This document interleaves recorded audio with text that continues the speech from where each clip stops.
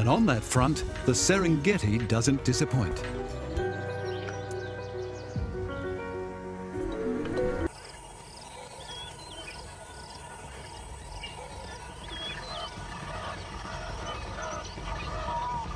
By mid-morning, the dregs of the kill are left to the lowest-ranking hyenas of Twambo's clan, who saw little of the lavish feast during the night.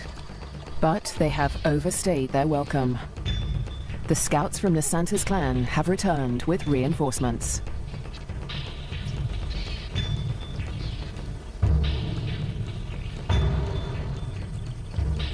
This territorial infringement will not be taken lightly.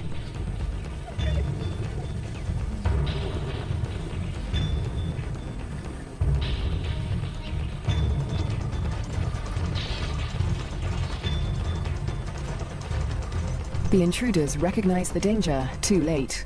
The full force of Nasanta's clan is upon them.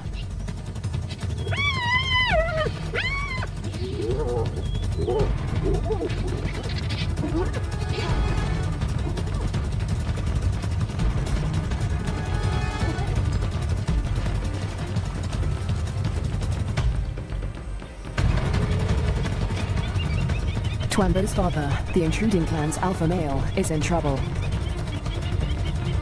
A large female from Nasanta's clan is close on his tail.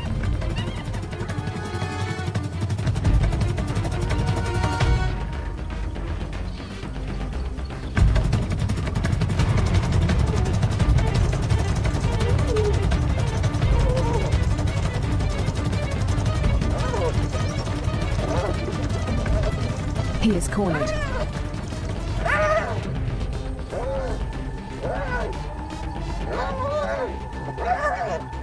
Fierce females show him no mercy.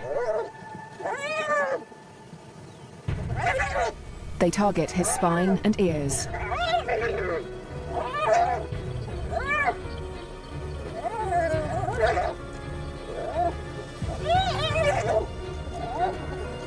This is a fight for his life.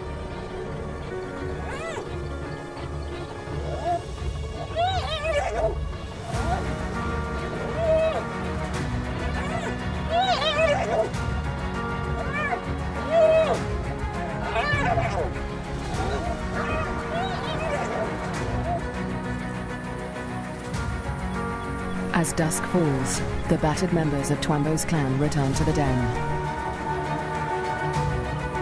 Many are wounded, but only one is missing. Twambo's father.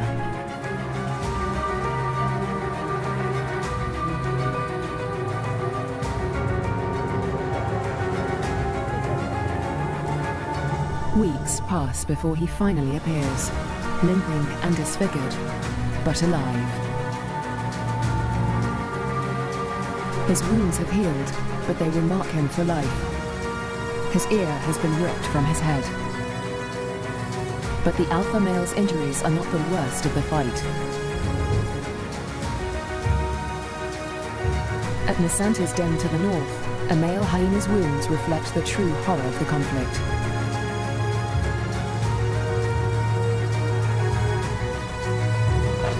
His nose and lips have been ripped from his face, into a permanent snarl. Next to humans, hyenas are probably one of the most fatally aggressive animals on Earth. One day, Twambo will have to breach this deadly territorial rivalry when he leaves to find a mate in a new clan.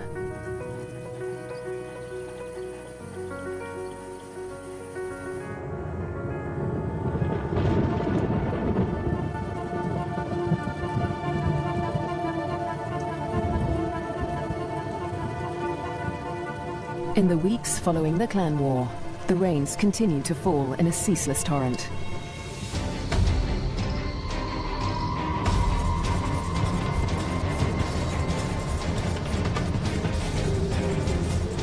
Rising waters swallow vast tracts of land.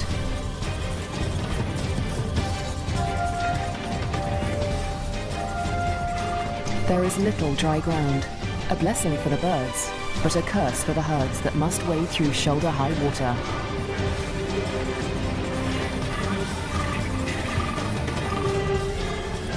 The flooding encroaches fast on Twambo's dam. The adult hyenas seem to enjoy the quagmire, using it as a pantry in which to store scraps for future meals. But the cubs cannot swim as well as their parents. If the waters reach the den, they could drown. For now, the den is still dry, and Twambo and his clanmates are safe. Twambo is starting to look more like the adult hyenas. His once black coat is now a spotty mane of brown fur, and he has more than doubled in size. But his low rank remains a problem. Even the smallest cubs still actively pick on him.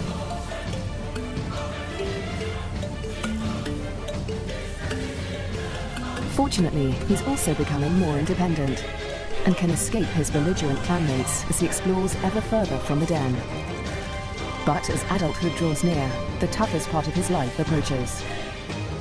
Soon, instinct will compel him to leave in search of a mate from another clan.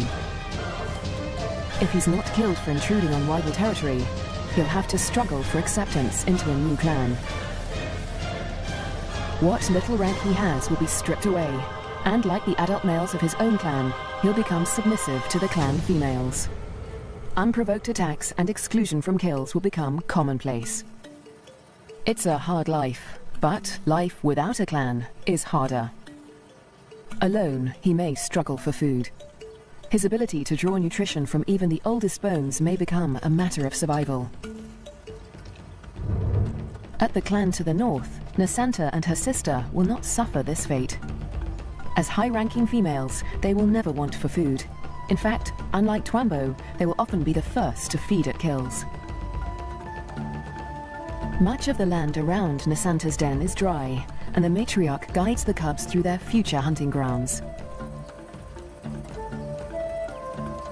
Soon, they will even be allowed to join their mother on a hunt.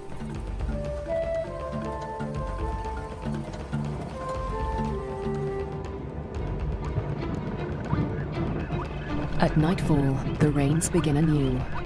Catfish squirm through the flooded Liuwa Plain as the waters rise ever higher.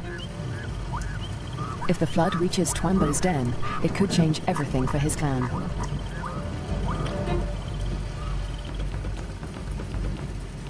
The downpour continues into the morning. A female from Twambo's clan returns to the den, but her clanmates are gone.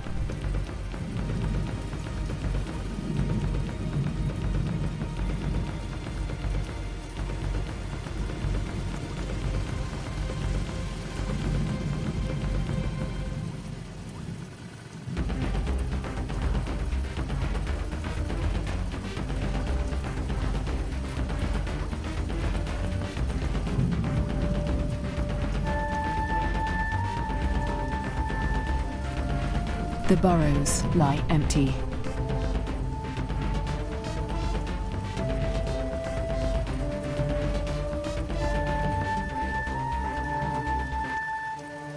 The waters have crept within meters of the den. They are dangerously high.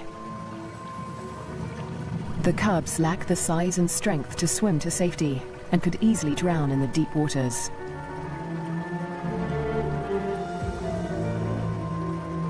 Cut off from dry land, the den could become a death trap.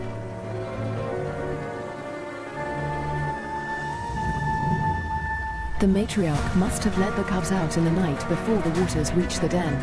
But this female has been left behind. She will have to search for the clan on higher ground, or try to survive without them.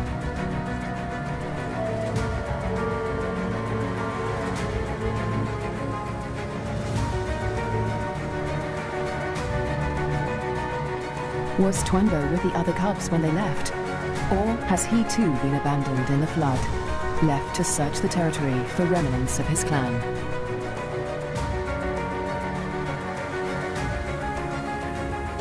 Years pass, and the fates of Twambo and his clan remain uncertain.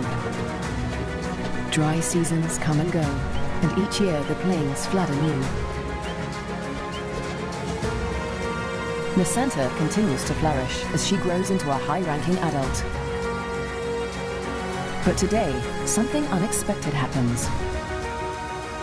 A stranger appears. a hyena foreign to Nasanta's clan. It's Twambo. He survived the floods and has grown to adulthood. He's on his own now, searching for a mate and a new clan. He's been drawn here by the scent of a female in season. That female is Nasanta, and Twambo gets her attention. He's an intruder in her territory, but she doesn't attack him. She'd rather claim him as a mate. New genes in the clan are a valuable asset, and nomadic males are often favored as mates over resident males. With Nasanta's approval, Twambo's intrusion is allowed by the clan, for now. But there is one hyena that disapproves of the match.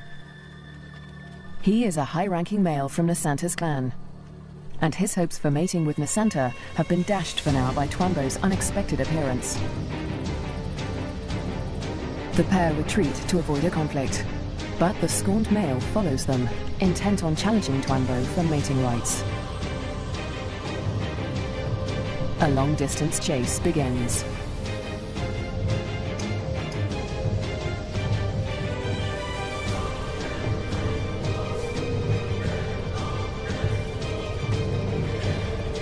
In the blistering midday heat, Twambo and Nasanta try to outrun their pursuer. But the male hyena won't give up. After a marathon chase, Twambo and Nasanta mate at last. But in seconds, the competing male catches up. He's still desperate to mate, but he will have to get past Twambo first. Mating is no simple task for spotted hyenas. Because of Nasanta's male-like genitalia, it takes much maneuvering for Twambo to cover her successfully. Without her consent, no male can force her to mate. But that doesn't stop the scorned male from trying. He attempts to mount Nasanta from behind Twambo.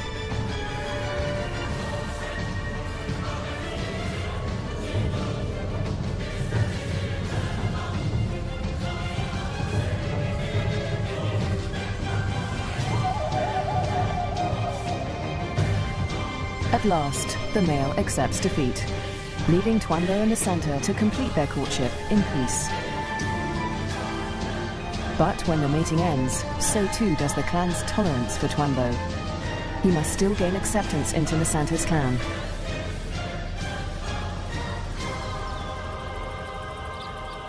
The next day, Twambo approaches Nasanta's den to attempt to gain acceptance.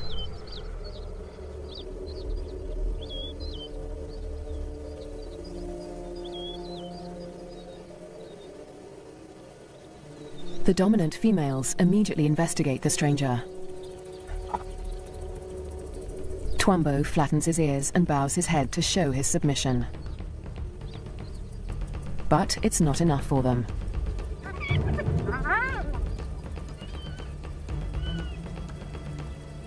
He's still a member of a rival clan, and they will attack him if he does not show complete submission.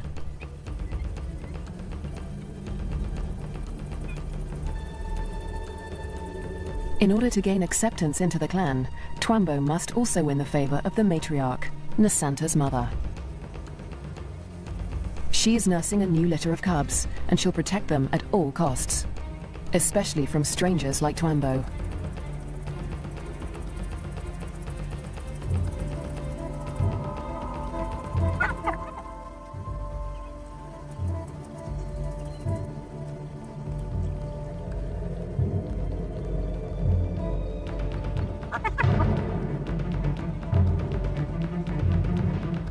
Twambo keeps his head low, showing absolute deference.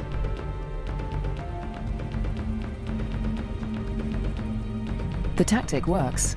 The matriarch relents.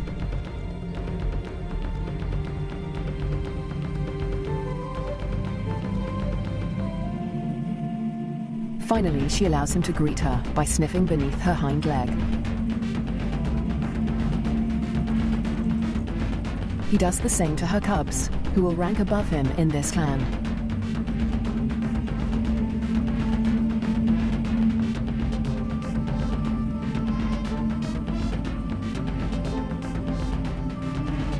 At last, he is allowed to lie down only meters from the matriarch.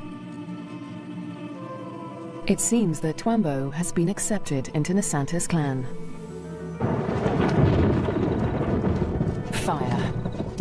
Flames tear through the dry grassland at terrifying speed, heading straight for Twambo and Nasanta's dens.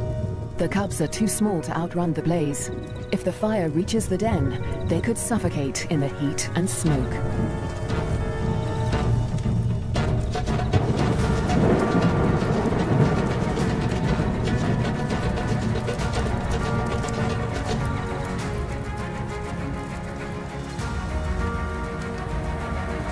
A new dawn brings the dying flames of the inferno.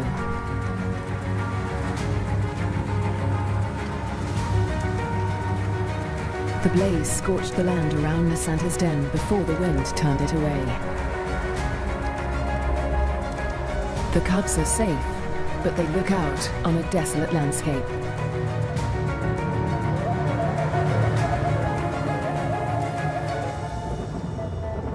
As the last embers burn to dust, the promised rain arrives at last.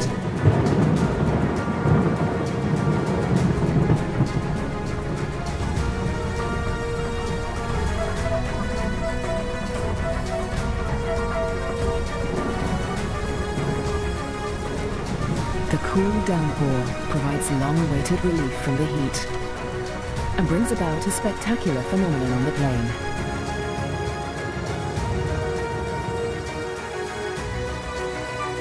A few days after the fire, a carpet of pink lilies sprouts across the plains. Triggered by chemicals in the smoke from the fire, the beautiful bloom lasts only a few weeks.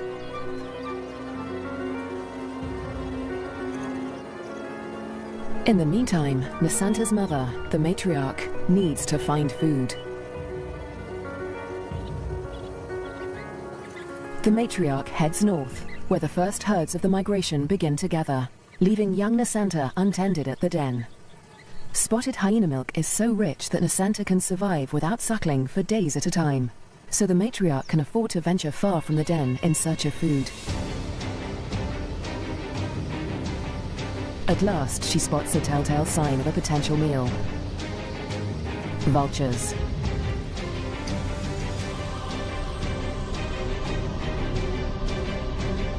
A drama plays out. Two hyena cubs, born in rival territories, struggle to survive as their clans wage war.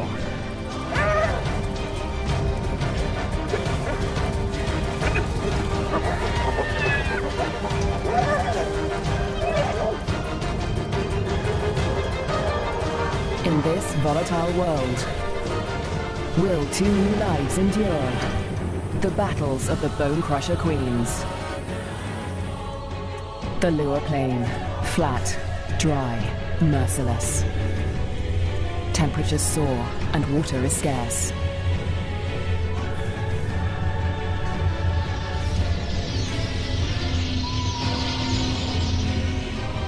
When the rains come, a wildebeest migration will flood into Liuwa Plain. But for now, only a few hardy adults stir the dust. Yet in this barren landscape, one of Africa's most underestimated predators has risen to greatness, the spotted hyena. Spotted hyenas are extraordinary survivors. Their powerful jaws crush through bone, and their cast iron stomachs digest even rotting meat. Yet in many regions, these bone crushers hunt far more often than they scavenge. Female spotted hyenas are remarkable amongst mammals. They are larger, stronger, and fiercer than male hyenas. And they have the most male-like sexual organs of any female mammal. This bizarrely elongated organ was once thought to be a product of high testosterone levels in the womb, but today it continues to mystify scientists. The female hyenas govern the clans, led by all-powerful matriarchs. Neighboring clans are sworn enemies, and territorial trespassers are often viciously attacked. This story begins in Zambia, in the Liuwa Plain National Park, where spotted hyenas reign as the top predators. In the heart of the park is a thriving hyena clan. The clan's leader, the matriarch, lures her youngest cub from a burrow. It's a tiny female named Nasanta, and today the little cub meets her clan for the first time. For two weeks, the newborn lay hidden in a burrow away from this main den. But now she is old enough to join the clan. Nasanta raises her leg in the typical hyena greeting, allowing her clanmates to identify her distinctive scent. The clan will recognize her by this smell, and she in turn must learn to recognize theirs.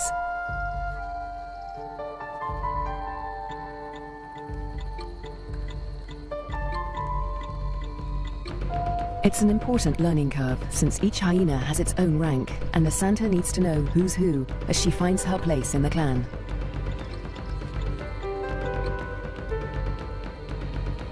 Fortunately, when it comes to rank, Nasanta has a head start. She and her twin sister get more than just milk from their mother. As cubs, they also inherit her superior status. As the matriarch, their mother ranks highest in the clan and enjoys the support and protection of all of the clan's dominant females. Nobody dares to confront her or her cubs. But not all hyenas live such charmed lives. Four kilometers to the southwest is another clan, Nasanta's clan's greatest rival. This clan abounds with cubs. Most are the offspring of the high-ranking females, but one among them is different. His name is Twambo, and he is the son of a low-ranking female. Like Nasanta, Twambo inherits his mother's rank, but this time, it's not a blessing. Low-ranking hyenas are often bullied by the clan, and with his mother's rank, Twambo will be a target. His mother will care for him, but she won't dare to defend him from the more dominant females, or their cubs. Behind her lies Twambo's father, He's the alpha male, the top-ranking male in the clan. But all spotted hyena males are subordinate to the females. He ranks even lower than Twambo's mother. Twambo will get little support from his low-ranking parents. He'll have to face his clanmates alone. But for now, it's all good fun. At only a few weeks old, the cubs are more concerned with play than rank.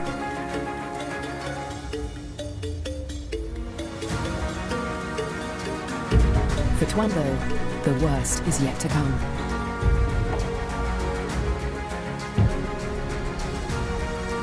Her suspicions are soon confirmed. A wildebeest bull lies injured in the grass. The matriarch is the first hyena on the scene, but she is not the only predator. This bull is the victim of the last lioness in Liuwa Plain. The matriarch tries to move in on the bull, but she's unnerved by the lioness. A conflict with a big cat could be fatal. The hyena keeps her distance as the bull quietly dies, not willing to provoke a conflict while the lioness remains nearby.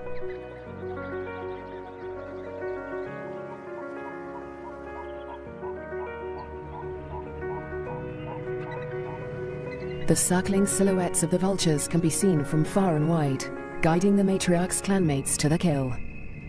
In the darkness, the hyenas feast at last.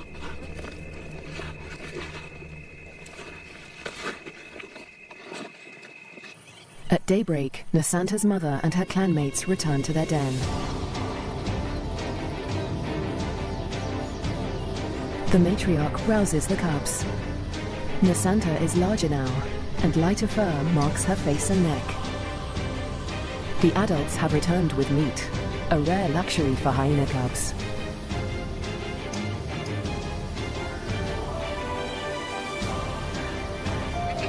It's the highest ranking cubs that commandeer the scrap.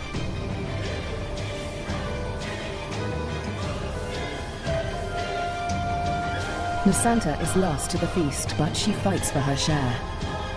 The other top-ranking cubs are stiff competition, and they won't let lower-ranking cubs anywhere near this scrap. As an adult, Nasanta will have to contend with highly competitive clanmates at kills. She must learn to eat fast or lose out, since a clan can reduce a carcass to scraps in less than 20 minutes. She will still suckle her mother's rich milk for about a year, but this new taste for meat is the beginning of Nasanta's transformation into a deadly and efficient predator. The Liuwa Plain is undergoing an extraordinary metamorphosis. In the coming days, the rains fall in an almost continuous deluge. The beginning of an annual flood that will cover much of the plains in water. Dusty depressions become waterlogged. Twambo and Nasanta's home on the Liuwa Plain has a catastrophic history. For more than a hundred years, the Lozi people have lived in the Liuwa Plain National Park amongst the wildlife, conserving and protecting it by order of the Lozi King. But a decade ago, around the turn of the 21st century, everything changed. A scourge of poachers invaded Liuwa Plain. Weapons streamed in from war-torn Angola, and a massacre was unleashed. Lions were targeted for their valuable skins, the herds for their meat.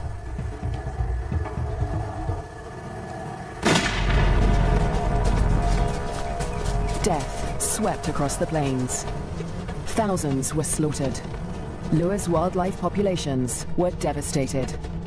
By 2003, the hyena's gravest enemies, lions, were all but obliterated. Only one known lioness survived, probably the last of her species in the region. But the poachers spared the spotted hyena. With its blotchy coat, it made a poor trophy, and its meat was worthless as food. With the threat of lions eliminated, the spotted hyena came to dominate the Liuwa Plain. But life in Liuwa today still has its challenges. The last weeks of the dry season are excruciatingly hot. The landscape distorts behind a haze of heat. But today, Twambo's mother senses a change.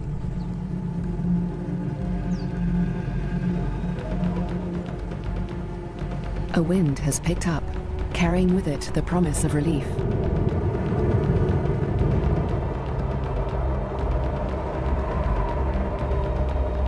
A storm approaches.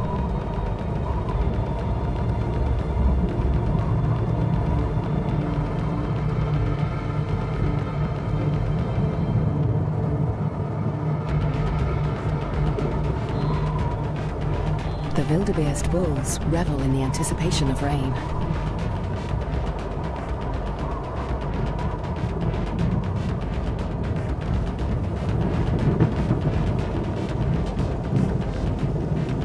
But this storm harbors a deadly threat.